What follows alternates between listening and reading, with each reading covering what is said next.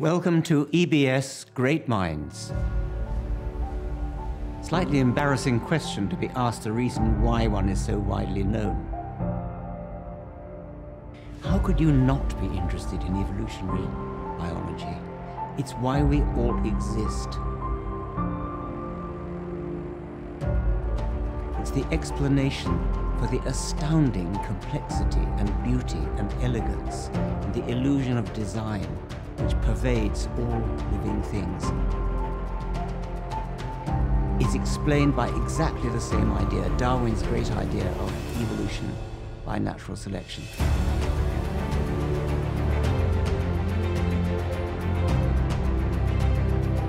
Why is life so complicated? Life is all about is surviving long enough to reproduce and pass on the genes that built the bodies in the first place.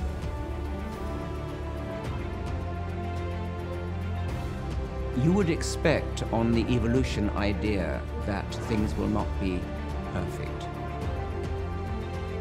It's not like an engineer who can throw away the existing design, toss it away and go back to a clean drawing board.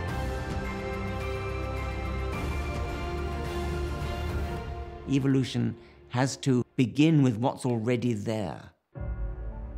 If you understand reality through the scientific method, you can navigate through the world successfully.